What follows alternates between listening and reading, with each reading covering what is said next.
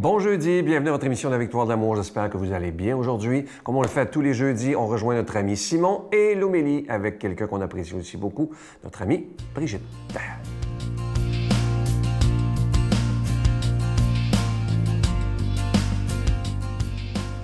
Bonjour tout le monde. Aujourd'hui, on est rendu dans notre étude méditative du credo euh, au petit mot à la communion des saints. Je crois à la communion des saints. Vous êtes-vous déjà demandé qu'est-ce que c'est ça que la communion des saints? Bien, je pense vous avoir déjà expliqué que le mot communion est un mot qui est utilisé pour parler d'une union spéciale, l'union entre des personnes. Donc voilà d'abord ce qu'est la communion des saints, une union entre des personnes qui sont justement les saints.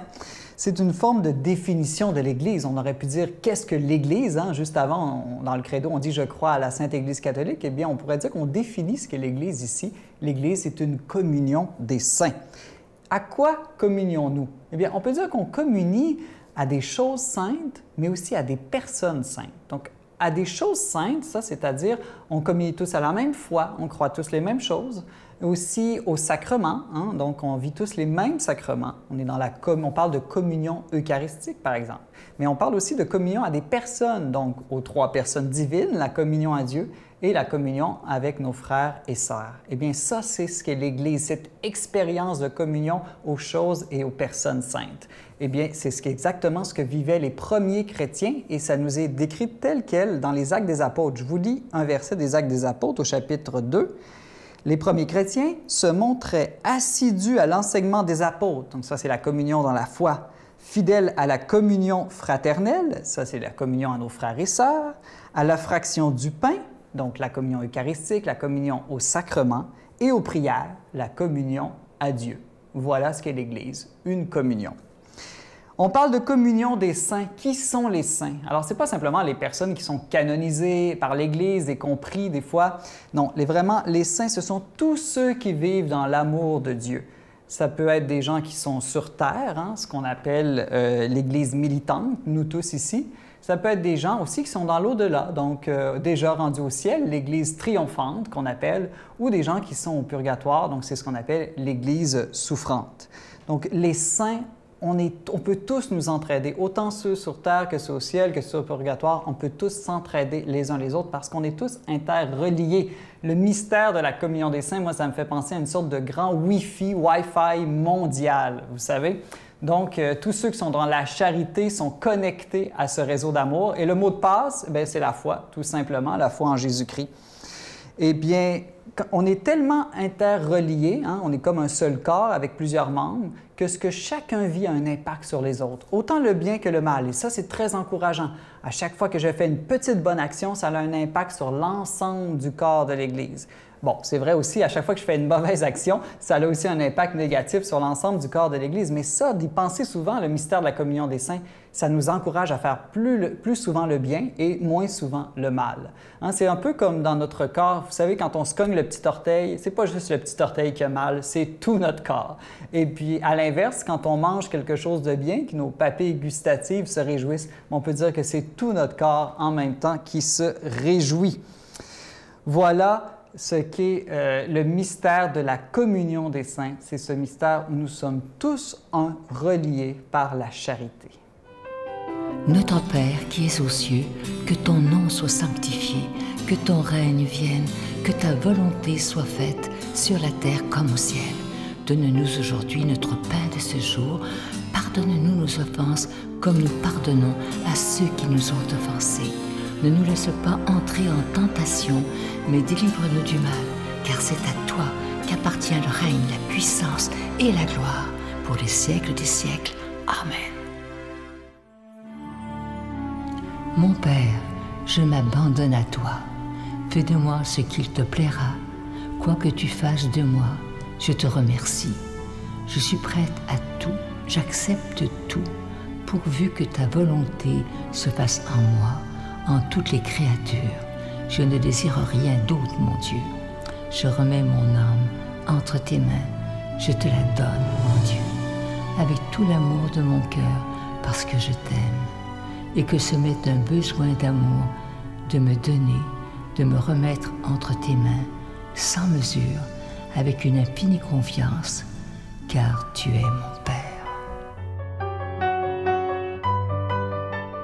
Encore une fois, je vous rappelle qu'en ce mois de juillet, il n'y a pas de cadeau du mois. Vous savez que l'été, c'est toujours plus difficile au niveau des dons, mais nous préférons croire totalement à ce Jésus qui est le maître de l'impossible afin qu'on puisse continuer comme, on le fait depuis 26 ans à vous présenter des émissions sept jours par semaine. Je pense que c'est ça le plus beau cadeau. Alors merci de votre grande générosité, merci de votre don spécial de l'été 2021. Et je vous rappelle, je vous, je vous l'ai répété pendant tout le mois de juillet, c'est une phrase qui est magnifique dans la Bible de Saint Paul qui dit ceci, que chacun donne comme il l'a résolu en son cœur, sans tristesse ni contrainte, car Dieu aime celui qui donne avec joie. Ça veut dire que vous ne devez pas être triste de donner, vous ne devez pas vous sentir obligé de donner, selon Saint Paul, mais vous devez le faire avec beaucoup de joie parce que vous croyez qu'il est important d'annoncer la parole de Dieu. Et Dieu sait que dans le monde dans lequel on vit présentement, on a besoin plus que jamais d'annoncer ce Jésus qui est le prince de la paix. Je vous donne l'adresse en vous disant merci de tout cœur de votre don spécial pour l'été 2021. La Victoire de l'amour, casse postale 120, succursale Boucherville à Boucherville, le J4B 5E6, je vous la redonne. La Victoire de l'amour, casse postale 120, succursale Boucherville à Boucherville, le J4B 5E6. Également par téléphone, par carte de crédit, du lundi au jeudi, de 8h à 17h dans le 514 523 4433 523 4433 ou sans frais, le 1 888 811 9291 1-888-811-9291 et notre site Internet, le www.lavictoiredelamour.org.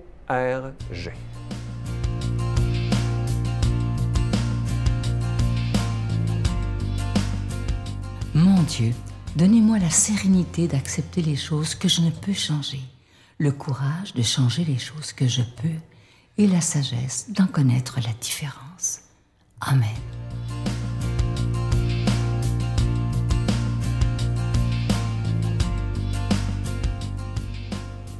Bonjour tout le monde. Bonne fête de Sainte Marthe. Aujourd'hui, c'est la fête de Sainte Marthe, la, sœur de Marie-Madeleine, la sœur de Lazare, qui sera ressuscitée euh, par Jésus devant une foule incroyable. Évangile de Jésus-Christ selon Saint Jean. Beaucoup de Juifs étaient venus manifester leur sympathie à Marthe et à Marie dans le deuil. Lorsque Marthe apprit l'arrivée de Jésus, elle partit à sa rencontre, tandis que Marie restait à la maison. Marthe dit à Jésus, Seigneur, si tu avais été là, mon frère ne serait pas mort mais je sais que maintenant encore, Dieu t'accordera tout ce que tu lui demanderas. Jésus lui dit, Ton frère ressuscitera. Marthe reprit, Je sais qu'il ressuscitera au dernier jour, à la résurrection. Jésus lui dit, Moi, je suis la résurrection et la vie. Celui qui croit en moi, même s'il meurt, vivra.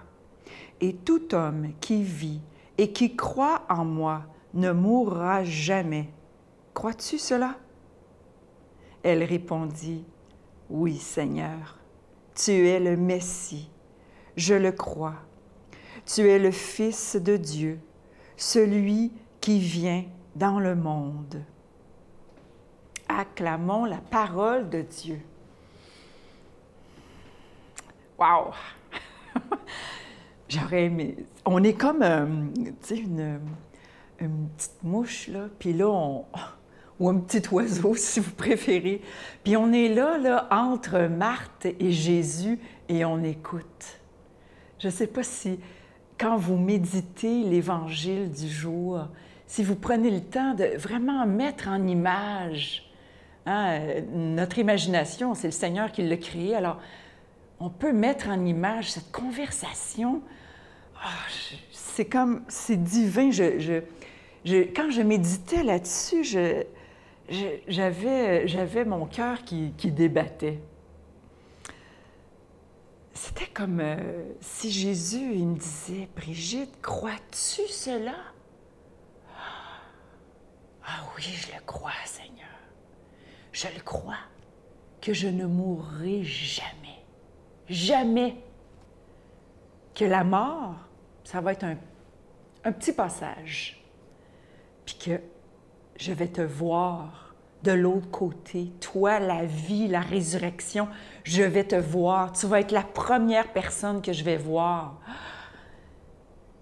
Et tout de suite, je vais rentrer dans ta vie divine. Je le crois. C'est-tu pas merveilleux d'avoir ce don de la foi? Cette grâce de la foi. Marthe a eu cette grâce de croire. Je le crois. Elle répondit, Oui, Seigneur, tu es le Messie. Je crois que tu es le Fils de Dieu. Non, mais c'est- c'était impossible à l'époque qu'un Juif croie ça. À cette époque-là, un Juif ne pouvait pas concevoir que Jésus, que Dieu, s'incarnerait dans une personne. C'était tellement hérétique comme pensée qu'il y en est mort crucifié. C'est ça qui a mis à mort Jésus. Alors, que Marthe, une femme bien ordinaire, comme moi, comme vous, bien ordinaire, qui croit, tu es le Messie. Je le crois, tu es le Fils de Dieu. Le Messie, ça passe, mais le Fils de Dieu, celui qui vient dans le monde.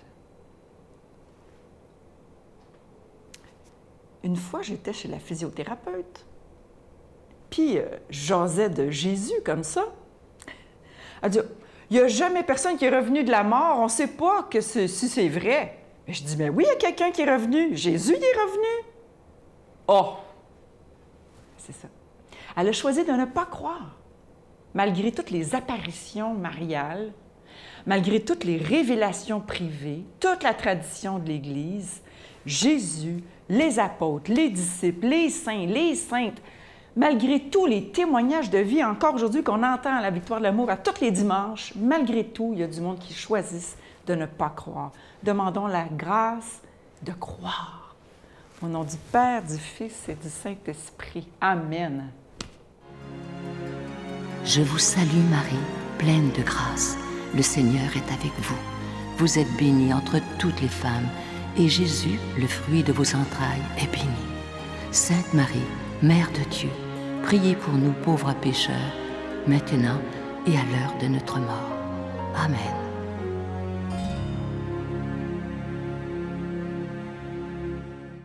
Je sais que vous êtes beaucoup à avoir lu certains livres de- du Père Michel Marie.